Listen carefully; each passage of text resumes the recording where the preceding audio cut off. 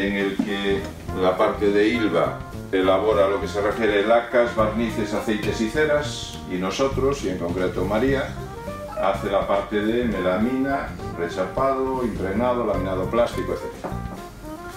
Hay un segundo entregable que es un simulador virtual de barnizado para que los chavales en los centros de formación profesional, antes de pasar a trabajar en cabina, puedan hacer prácticas con el simulador sin necesidad de tirar material, léase laca, léase tablero, léase madera, que además hay que depositarlo como residuo peligroso. Entonces, una vez que ya ha adquirido destreza, entonces pasa a hacerlo en vivo y en directo.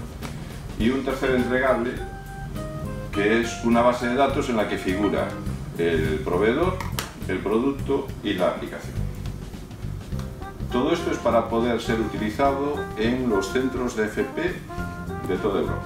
¿vale? Entonces, los socios, hay muchos más, pero los que estamos en el comité técnico de este proyecto somos el CIS Madera, Monse es la coordinadora del proyecto, la que tuvo la idea, la que la presentó, la que nos enrolló a los demás, consiguió los socios y a partir de ahí empezamos a andar hay otro socio tecnológico que es el CISFERROL, que es el que se encarga del simulador, básicamente, es, su función. La Federación Británica de Recubrimientos, BCF, y un instituto estonio de formación profesional, permitirme que no diga el nombre porque me puedo morir de asfixia en el intento, algo así que me Y luego la Consellería de Educación de la Junta, que proporciona cinco profesores, de los cuales hay tres eh, hoy aquí, Magariños y Chema del Antón Losada Dieguez de La Estrada y José Manuel del Valle la Xunqueira de, de Pontevedra. Y luego hay dos socios tecnológicos, ILVA, que es el que aporta la parte de lacas y barnices, y nosotros que aportamos el tema del tablero en sus versiones de recubiertas. Como digo, el proyecto empezó febrero del año pasado, aquí en Gaín, con visitas luego a una serie de fábricas. Eh, estuvimos el año pasado en Oxford, y en Oxford, además, por parte de FINSA, además de María y yo, estuvo también Antía. Y en septiembre, a finales de septiembre, tenemos que estar una semana de difusión del proyecto en Estonia. Entonces, cuando empezamos con el proyecto, yo pregunté en una charla informal en la que estaban algunos de los que estamos aquí qué efectos deseables debería tener el proyecto. Porque lo que es evidente es lo, que hay que hacer, que son los productos estos.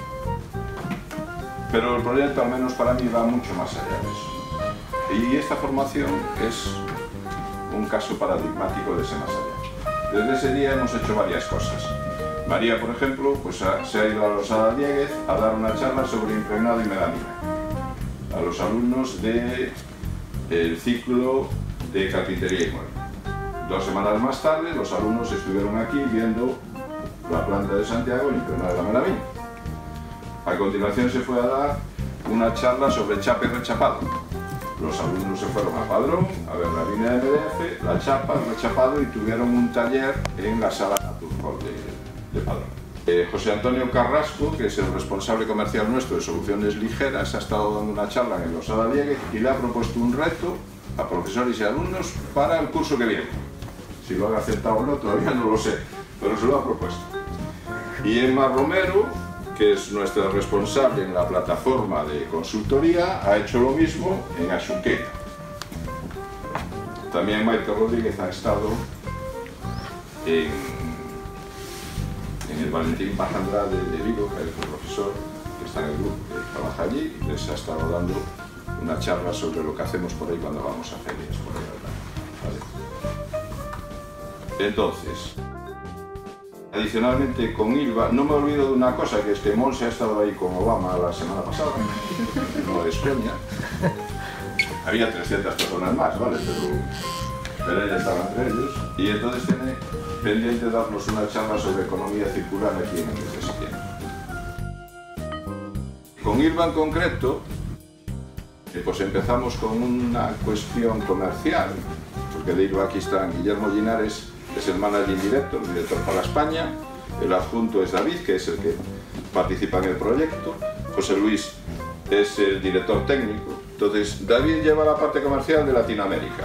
Entonces, sabéis que tenemos una delegación en, en, Latinoamérica donde está Raquel Carrillo y entonces pues han empezado a intercambiar eh, contactos comerciales gracias a los cuales hace como tres semanas o así le servimos el primer contenedor a un, a un cliente en el que llevábamos, eh, como dicen los comerciales, al menos los de Finsa, dos años calentando banquillo.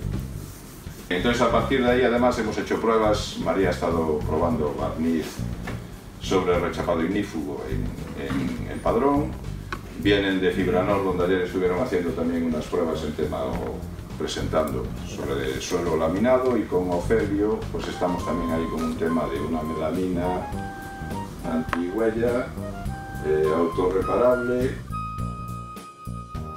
alto rayado, eh, de todo. De todo. De todo. Anti-shock, los relojes hace años eran sumergibles, no sé qué. Bueno, pues una, Más, más cara que... una cosa de estas. Por ahí. que La, la puedes sumergir a 30 metros y no sé cuántas cosas más. Entonces, esto forma parte del proyecto.